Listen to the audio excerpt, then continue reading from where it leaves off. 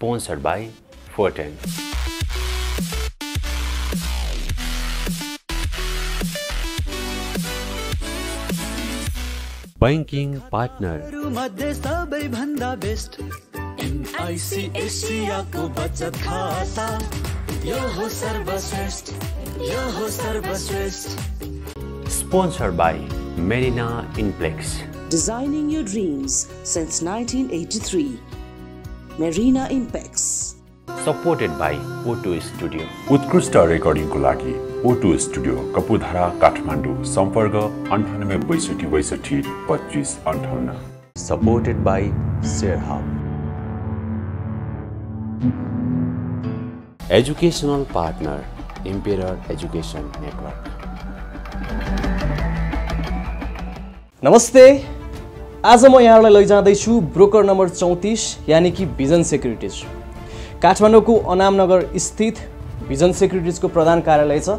हामी भिजनमा जान्छौँ त्यहाँ भेटिनु हुने लगानीकर्ता साथीहरूसँग कुराकानी गर्छौँ। के भन्नुहुन्छ उहाँहरूले? उहाँहरूको विचारहरू लिन्छौँ त्यसपछि भिजनका कर्मचारी साथीहरूसँग पनि कुराकानी गर्छौँ। र भिजनमा चाहिँ के छन् त सेवा सुविधाहरू? कस्तो छ भिजन आज हामी भिजन सेक्युरिटिजको टुर गर्दैछौँ।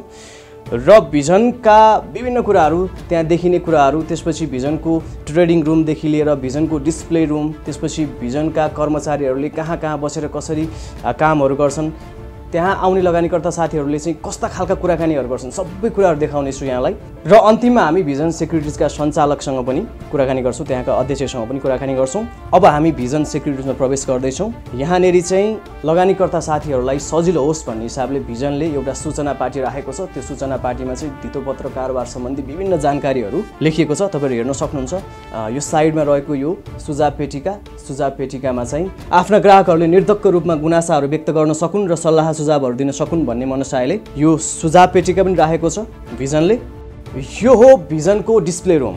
अब यहाँहरूलाई एउटा कुरा म के याद दिलाउन चाहन्छु भनेदेखि जब अनलाइन कारोबार प्रणाली आयो त्यसपछि ब्रोकर कार्यालयमै गएर बसेर त्यहीँ बसेर डिस्प्ले हेर्दै त्यसपछि त्यहाँ बसेर साथीभाइहरूसँग कुराकानी गर्दै कुनै स्टकको प्राइस घटेको बढेको बजार घटेको बढेको कहिले राजनीतिको कुरा गर्दै कहिले घर व्यवहारका कुराहरू गर्दै जुन किसिमको एउटा रमाइलोसँग त्यो समय बिताउने एउटा लगानीकर्ता साथीहरूको जुन त्यो बानी थियो त्यो चाहिँ अहिले छुटेको छ। धेरैजना साथीहरूले आफ्नो घरमै बसेर आफ्नो कार्यालयमै बसेर कारोबार गर्दै आइरहनु भएको छ।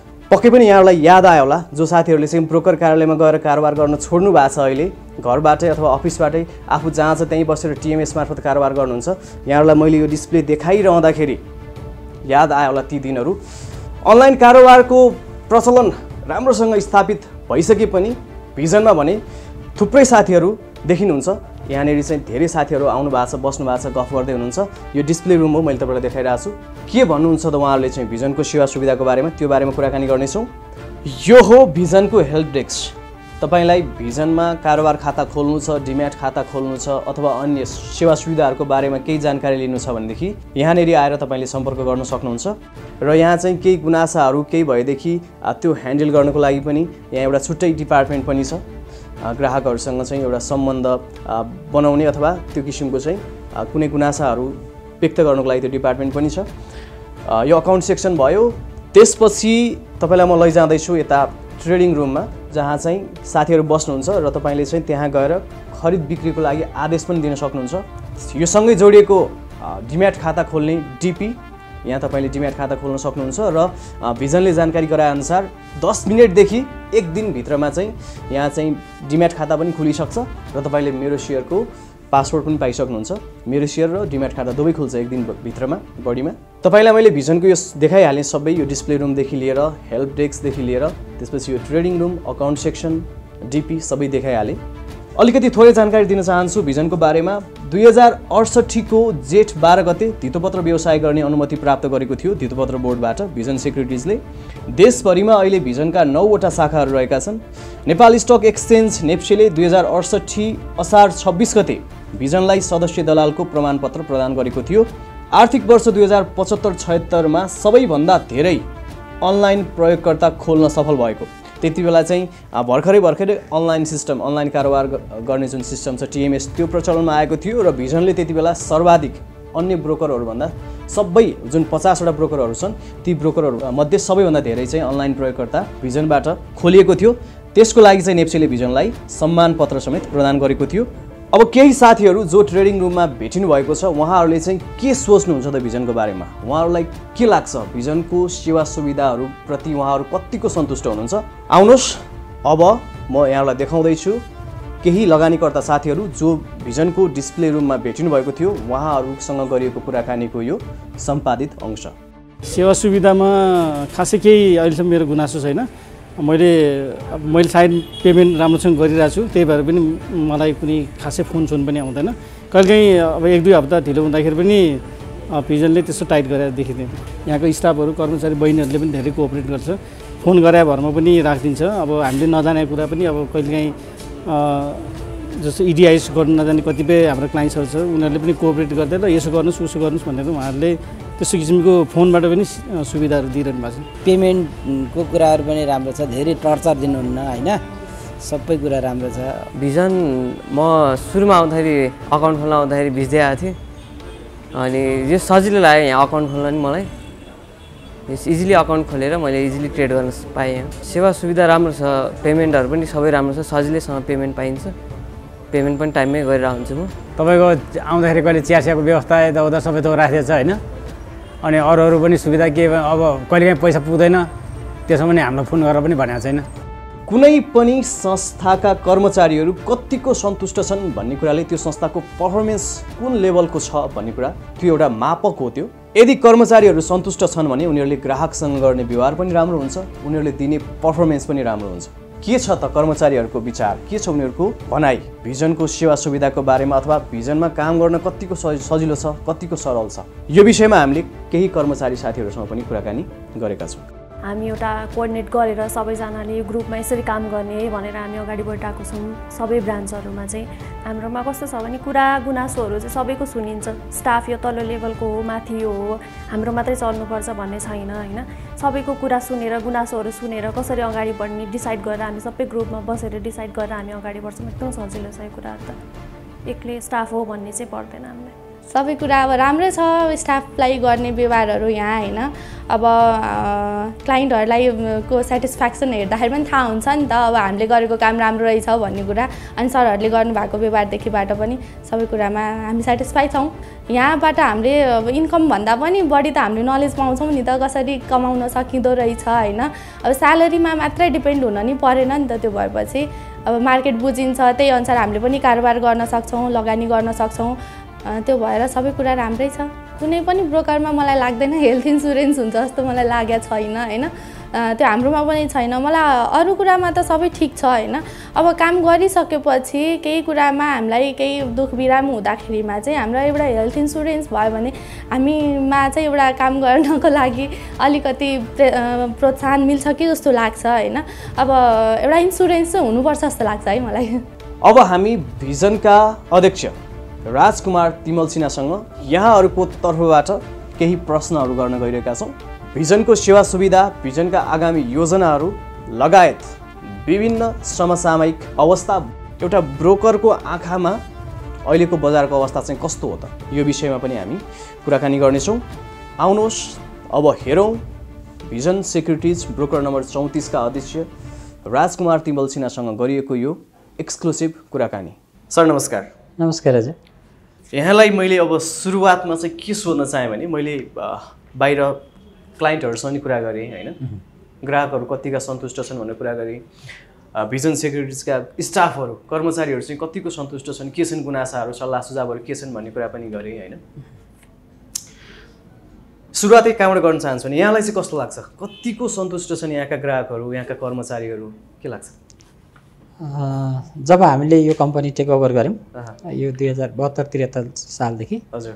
अँ, त्यहाँपछि हाम्रो उद्देश्य नै के भयो भनेदेखि ग्राहकको सन्तुष्टि नै हाम्रो सफलता हो। त्यो मूल मन्त्र हामीले बिर्सिएका छैनौँ। र म इन्भेस्टर ब्याकग्राउन्डबाटै ब्रोकर भएको मान्छे भएको हुनाले तपाईँले देख्नुभयो होला अरू ब्रोकर साथीहरूकोमा र हाम्रोमा क्लाइन्टहरूलाई बस्ने डिस्प्ले रुम चाहिँ पहिलो प्राथमिकतामा जहाँ उज्यालो घाम आउने। सबै ऊ व्यवस्था भएको चाहिँ हामीले इन्भेस्टरलाई छुट्याएको छौँ। र अर्को कुरो हामी कारोबारको दौरानमा पनि लगभग हामी टप थ्री टप फाइभभित्रै मेन्टेन भएको सबै कुरामा आउँछु म। यो कुरामा आउँछु। कर्मचारीहरू कतिको सन्तुष्ट छन्? कर्मचारी मलाई लाग्छ हामीले कर्मचारीहरूलाई लगभग लगभग सरकारी सुसरहको धेरै कुराहरू। हाम्रो कम्पनीमा व्यवस्था छ।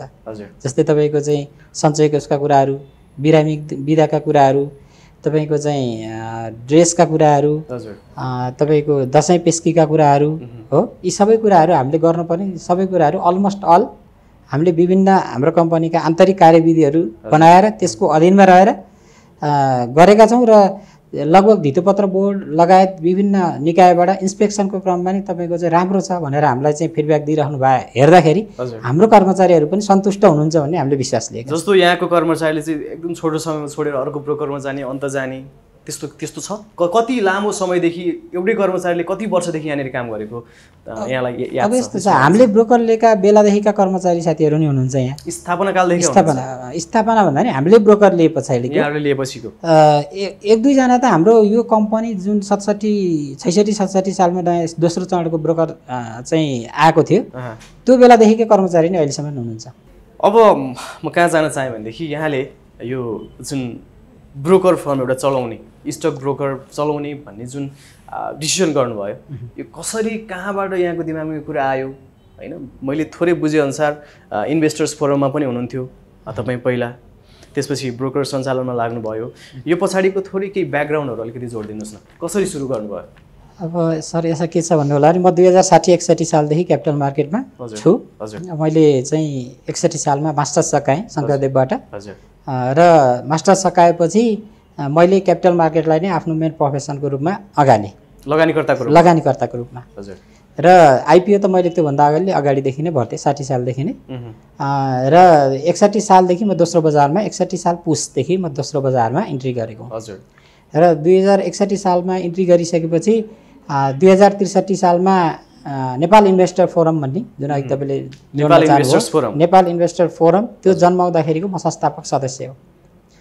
र बजारमा देखिएका विसङ्गति विकृति विरुद्ध आवाज उठाउने। र लगानीकर्ताहरूलाई सुसूचित गर्ने बजारको बारेमा फाइनेन्सियल लिट्रेसी दिने उद्देश्यले त्यो संस्था जन्मेको हो। र त्यो संस्थामा म एउटा सदस्यदेखि कोषाध्यक्ष महासचिव हुँदै अध्यक्षसम्मको पद मैले अध्यक्ष पनि? अध्यक्षसम्म बसेर मैले काम गरेको छु। हजुर।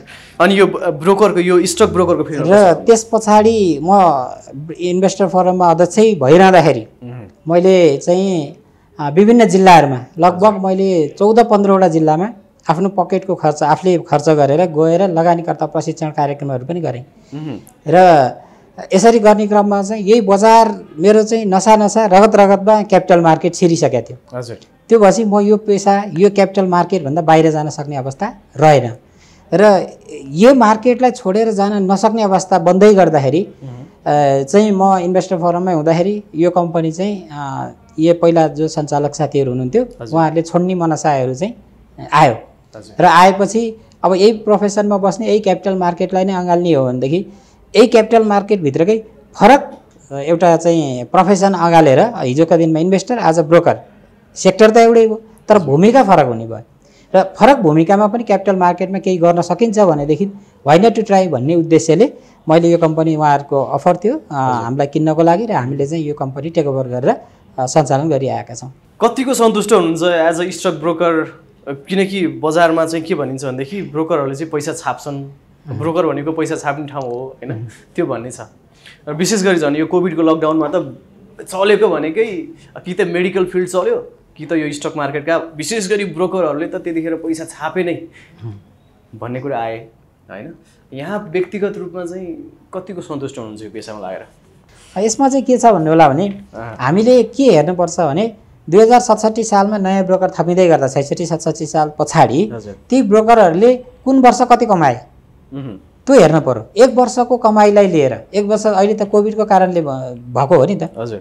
नम्बर अफ इन्भेस्टर बढे। तपाईँको कारोबार भत्ता बढ्यो। अरू केही पेसाहरू व्यवसायहरू चलेनन्। सेयर बजार चल्यो। घरमा बसेर मान्छेले किन्ने बेच्ने धेरै ट्रेड भयो। हो? अब त्यो दुई वर्षको लागि तपाईँले हेर्नुहुन्छ भने त्यो केही हदसम्म ब्रोकरहरूले कमाएको देखिन्छ। तर त्योभन्दा पछाडिको वर्ष हेर्नुहोस्। त्योभन्दा विगत छ वर्षको हेर्नुहोस्। तपाईँले पाँच वर्षको एभरेज डेटा लिएर हेर्नुभयो भने र अहिले भएका पचासवटा ब्रोकरको एभरेज टर्नओभरलाई लिएर हेर्नुभयो भनेदेखि। आज पनि ब्रोकर पेसा भनेको एकदम ग्ल्यामरस पेसा। पैसा कमाउने ठाउँ भनेर जुन चर्चा परिचर्चा छ। ब्रोकरहरूको एभरेज रिटर्न बिसदेखि पच्चिस पर्सेन्टभन्दा माथि छैन। र तपाईँ बिस पच्चिस पर्सेन्ट त अरू नर्मल बिजनेसमा गर्न सकिन्छ।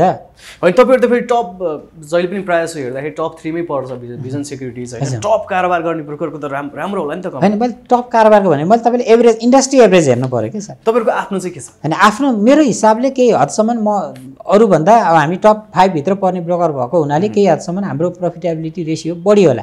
तर इन्डस्ट्री एभरेजलाई हेर्नु पऱ्यो हामीले। जुनसुकै कुराको नि हामीले इन- इन्डस्ट्री एभरेज त हेर्नु पऱ्यो नि त। होइन यो बजार जुन घट्दो बजार छ त्यो घट्दो बजारमा पनि के छ? प्रफिटमै छ भिजन सेक्युरिटिज के छ? अब हामी अब अहिलेको वर्षको यो टर्नओभरलाई हेर्ने हो भने चाहिँ ब्रेक इभेनमा हामी आइसक्यौँ भनेपछि अरू ब्रोकरको हालत के हुन्छ? र अनि यो लस चाहिँ अब अस्ति दुई वर्ष अगाडि कमाएकोले अर्को पाँच वर्ष चाहिँ त्यो लस रिकभर गर्नुपर्ने स्थिति आउन सक्छ। हजुर। होइन त्यसले बुलमा गर्दा कमाएको पैसा बुलमा कमाएको देखिन्छ yes. त्यसपछि यत्रो लामो बेरिस बेरिसमा हुँदाखेरि अफिसहरू धेरै अफिसहरू लसमा हुन्छ ब्रोकर कम्पनीको त्यो त धितोपत्र बोर्डमा हामीले विवरण नै पेस गरे हुन्छ। तपाईँहरूले त्यहाँबाट नि डेटा हेर्न सक्नुहुन्छ। होइन? कर कार्यालयमा पेस गरिया हुन्छ। लसका ब्यालेन्स सिट पेस भइरहेछन् उम्. बाहिर हल्ला खल्ला गरे जस्तो त्यस्तो पैसा त्यस्तो छैन। त्यो एक दुई एक तारिकलाई त्यो एक वर्ष कमाएकोलाई लिएर जहिले त्यो हुन्छ भन्ने होइन। त्यस पछाडि त्यही एक वर्ष कमाएकोले चार वर्ष चाहिँ लस रिकभर गर्नुपर्ने अवस्था पनि हुनसक्छ। होइन त्यसले गर्दाखेरि हामीले चाहिँ एउटा पिरियडको एभरेज डेटाहरूलाई लिएर चाहिँ हामीले भनौँ न यो बजारमा सम्प्रेषण गर्न सक्यौँ भनेदेखि आम लगानीकर्ताले नि त्यो के हो भन्ने कुरा वास्तविकता बुझ्ने मौका चाहिँ पाउनुहुन्छ जस्तो लाग्छ अब सन्तुष्टिको कुरा गर्दाखेरि दुईवटा कुरा हुन्छ एउटा जुन उद्देश्यले मान्छे कुनै प्रोफेसनमा आउँछ भने त्यो उद्देश्यमा आफूले त्यो उद्देश्य मिट गर्न सक्यो कि सकेन हजुर होइन जस्तै त्यहाँभित्र के हुनसक्छ भन्नु होला भने मैले जुन मैले अघि पनि तपाईँलाई जोडेँ फरक भूमिकामा क्यापिटल मार्केटकै डेभलपमेन्टको लागि काम गर्छु भनेर आएको हुँ म। हजुर। भूमिका मात्रै फरक हो। आखिर क्यापिटल मार्केटकै लागि काम गरिरहेको छु हिजोको फरक भूमिका थिएँ आज अलिक फरक भूमिकामा काम गरिरहेको छु र यही सिलसिलामा हामीले चाहिँ जुन उद्देश्य मैले राखेर आएको थिएँ यो एउटा चाहिँ ग्ल्यामरस तपाईँले अघि भन्नुभयो पैसाको लागि मात्रै भन्दा नि एउटा मैले त अझै ग्ल्यामरसै भन्छु होइन यो प्रोफेसन हो। तर यहाँ चाहिँ कस्तो देखिया छ भन्नु होला भने राज्यले यो क्षेत्र overall capital market not only stock broker industry एउटा चाहिँ राज्यले क्यापिटल मार्केटलाई हेर्ने पर्सेप्सन अलिक साँगुरो हो साँगुरो भयो मेरो आफ्नो बुझाइ। राज्यले यसको इम्पोर्टेन्स नै बुझ्न सकेन। यसको नेतृत्वमा बस्ने व्यक्तित्वहरूले यसको इम्पोर्टेन्सलाई बुझ्न सक्नु भएन। यसको क्यापिटल मार्केटको लाई प्रयोग गरेर क्यापिटल मार्केटलाई प्रयोग गरेर यहाँ धेरै आर्थिक क्रान्ति गर्न सकिने धेरै सम्भावना छ। र त्यही सम्भावनाहरूलाई देखेर नै म यो क्यापिटल मार्केटमै आफू आबद्ध भइरह हो। हजुर। होइन यहीँ केही गर्न सकिन्छ भनेर। तर विडम्बना भन्नुपर्छ मैले जुन उद्देश्य जुन सोचका साथ यहाँ यो इन्डस्ट्रीमा आएँ मैले सोचे जस्तो गर्न सकिरहेको छैन। किनकि मलाई वातावरण बनिरहेको छैन त्यो काम गर्नलाई। यहाँले आफूले पहल गर्न नसकेर पो हो कि? होइन पोलिसीगत सुधार हुनुपर्ने कामहरू भइदिएनन् जस्तै आज पनि भन्नु न स्टक ब्रोकर भन्नुभएको छ तपाईँले। अर्डर क्लाइन्टले दिएको आदेश प्लेस गर्ने बाहेक हामीसँग केही काम छैन। हजुर। होइन? तपाईँले बाहिरका स्टक ब्रोकरहरूको चाहिँ हेर्नुहोस् बाहिरका स्टक ब्रोकरहरूको चाहिँ अवस्था उनीहरूले गर्ने काम उनीहरूको स्टाटस त्यो हेरौँ न। यहाँले नै भाँचो हाल्नु भयो भन्छ नि त त्यसमा जस्तो नयाँ स्टक एक्सचेन्ज त्यसपछि ब्रोकरहरू थप्ने ब्रोकरहरूको क्यापिटल बढाउने त्यसपछि तपाईँले जस्तो पिएमएसदेखि लिएर होइन क्लाइन्टलाई चाहिँ एउटा चाहिँ सल्लाह सुझाव पनि दिन मिल्ने हिसाबले अरू पनि कुराहरू मार्जिन लेन्डिङका कुराहरू त ल्याउन खोजिरहेको थियो पत्र बोर्डले यहाँले नै अदालततिर गएर मुद्दा हालिदिनु ब्रोकरले भन्छन्। यो यो सबै कपोल कल्पित कुरा हुन्। हजुर। न त्यो स्टक ब्रोकरहरू त्यसमा सामेल छन् न त्यो कसैको इन्ट्रेस्टमा छ। हामीले त अहिले पनि तपाईँलाई म भनिदिन्छु मैले धितोपत्र बोर्डले यो पोलिसी ल्याएको दोस्रो दिनमा। मैले मेरो कम्पनीको अथराइज क्यापिटल अहिले पनि तपाईँलाई चाहिन्छ भने म डकुमेन्ट दिन सक्छु।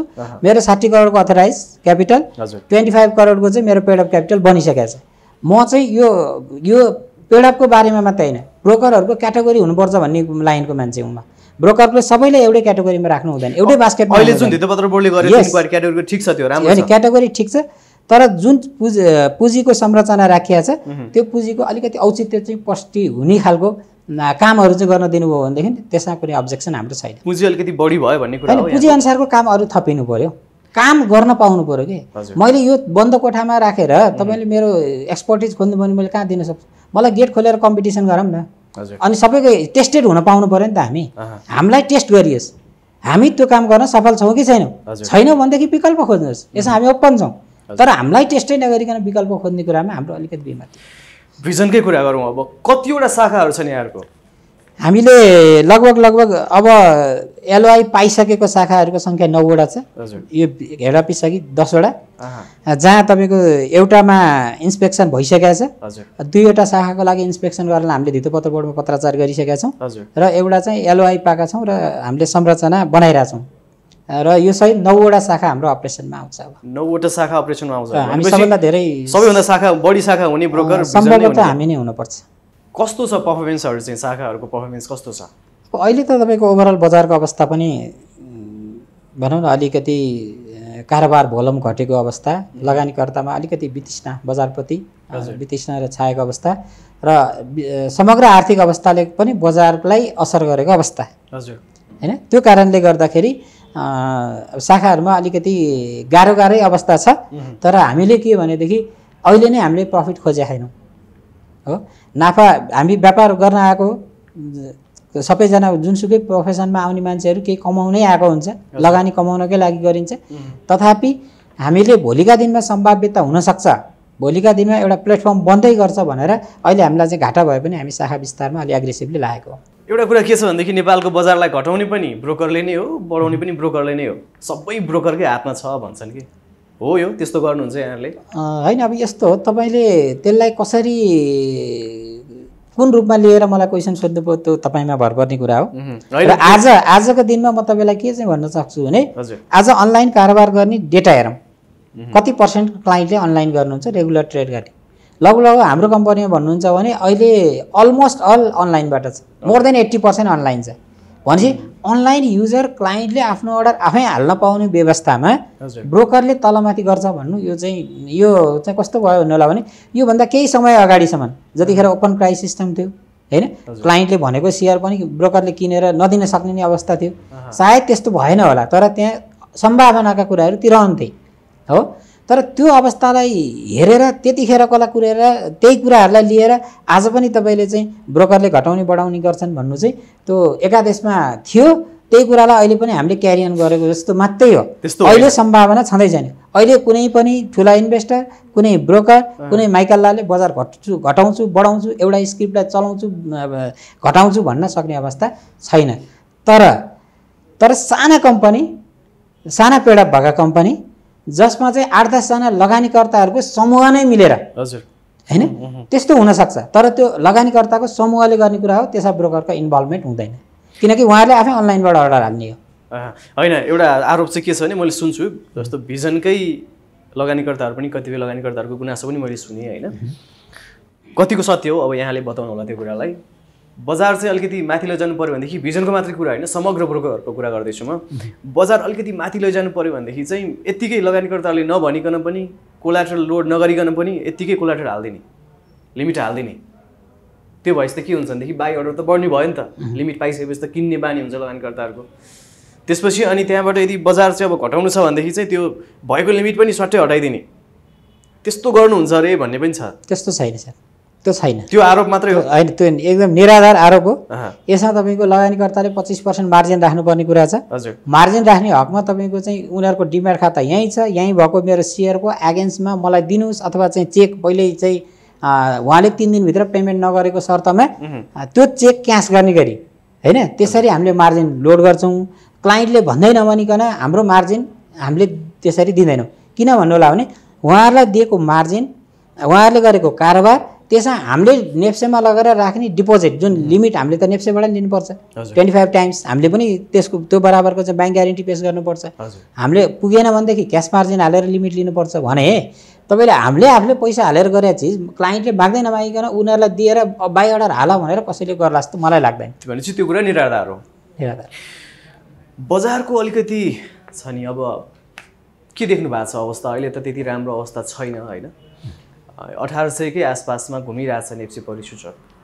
यहाँले हेर्दाखेरि चाहिँ अब कस्तो होला जस्तो लाग्छ बजारको यात्रा? कसरी अघि बढ्न सक्ला? अब यस्तो छ बजार घट्छ बढ्छ भन्ने विषयमा हामीले बोल्न मिल्दैन। होइन त्यसो घट्छ बढ्छ भन्दा पनि त्यो एक किसिमको एउटा यहाँले चाहिँ आफूले व्यक्तिगत रूपमा हेर्दाखेरि।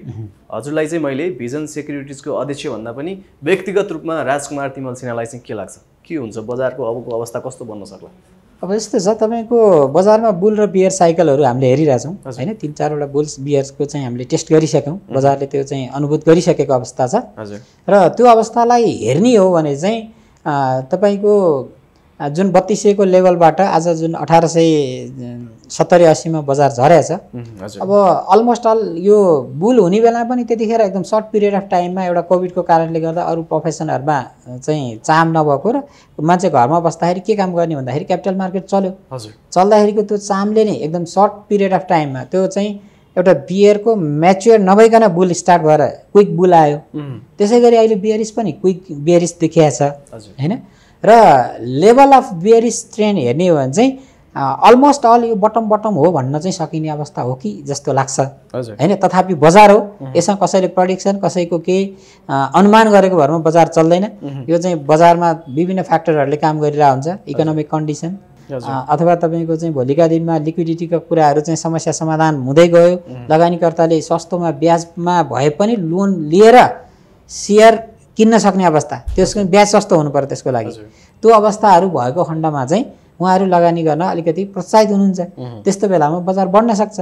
तर अहिलेको अवस्थामा चाहिँ अब यो पुस मसान्तसम्मको इको के अरे लिक्विडिटीको अवस्था सरकार गठन यी कुराहरूलाई हेरेर लगानीकर्ताले आफ्नो चाहिँ भनौँ न इन्भेस्टमेन्ट स्ट्राटेजी चाहिँ अवलम्बन गर्दाखेरि हुन्छ जस्तो लाग्छ। भिजनका चाहिँ के छन् योजनाहरू? भिजन सेक्युरिटिजको अब कसरी अगाडि बढ्ने तपाईँहरूको योजना छ? प्लान के छ? के के सेवा सुविधाहरू अझै थप जुन छ अहिले त छँदैछ होइन? केही थप सेवा सुविधाहरू केही नयाँ प्याकेजहरू केही ल्याउँदै हुनुहुन्छ कि के छ?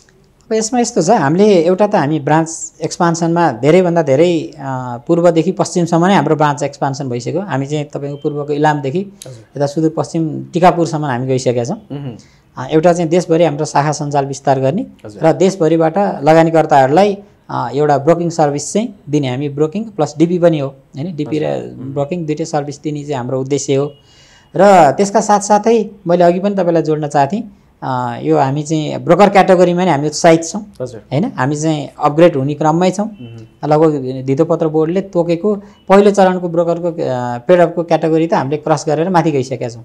त्यो भनेको हामी नेक्स्ट लेभलमा वी आर ट्राइङ होइन सो द्याट अब हामीले यहाँभित्र अ, जस्तै साठी करोडको कुरा छ सेकेन्ड स्टेजको हजुर। अब त्योभित्र पाउने सुविधाहरू त पुर्याउनलाई लगभग हामी निकट भविष्यमा हामी त्यो पुँजी पुर्याएर त्यो काम त्यो सेवा सर्भिसहरू चाहिँ हामी लगानीकर्ताहरूलाई दिन हामी अ, प्रयासरत छौँ। हाम्रो त्यो टार्गेटमा छ हामी त्यसमा अगाडि बढ्छौँ। र अझ मैले त भन्नुहुन्छ भने अब यो इन्ट्राडे होइन? अनि तपाईँको चाहिँ सर्ट सेलका कुराहरू सेक्युरिटी ल्यान्डिङ एन्ड बोरोइङका कुराहरू यी कुराहरूमा पनि ब्रोकर इन्डस्ट्रीलाई नै जिम्मा दिने हो भनेदेखि अहिले भएका ब्रोकरहरूले गर्न नसक्ने भन्ने अवस्था छैन।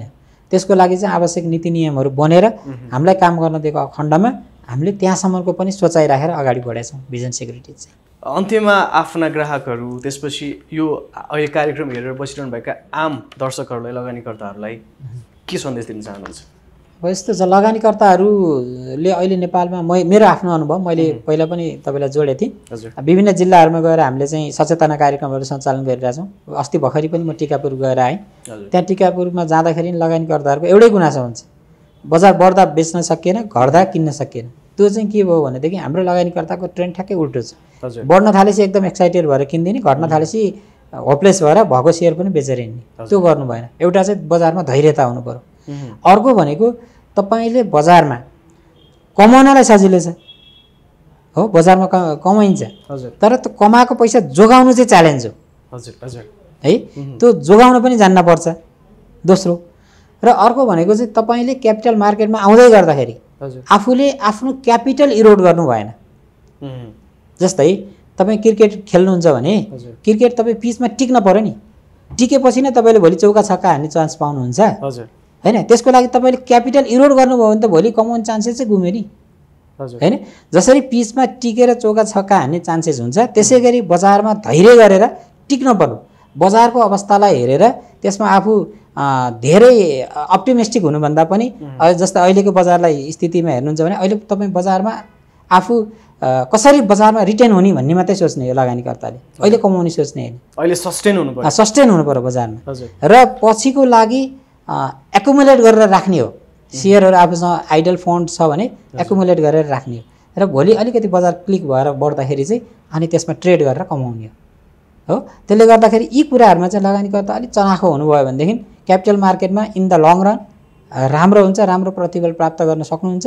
तर त्यसको लागि आफू अध्ययनशील अ, हुनु पऱ्यो बजारमा भएका अपडेटहरू लिन पऱ्यो बजारमा नयाँ नीति नियमहरू के आइरहेछन् ती कुराहरू हेर्नु पऱ्यो लिक्विडिटीका कुराहरू हेर्नु पऱ्यो यी सबै फ्याक्टरहरूलाई एनालाइज गरेर तपाईँहरूले लगानी नीति बनाउनु भयो भनेदेखि चाहिँ लगानीकर्ता सफल लगानीकर्ता बन्न सक्नुहुन्छ र आफूले सोचे जस्तो प्रतिफल प्राप्त गर्न पनि सक्ने अवस्था चाहिँ देखिन्छ। हस् हामीलाई समय दिनुभयो त्यसको लागि धेरै धेरै धन्यवाद। हस् हामीलाई पनि आफ्नो कुरा राख्न चाहिँ मौका दिनुभयो। तपाईँको सबै टिमलाई धन्यवाद दिन चाहन्छु। हस् thank you